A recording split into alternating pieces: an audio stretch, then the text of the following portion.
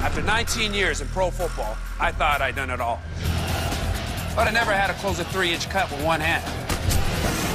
I never needed to change four tires in under 10 seconds.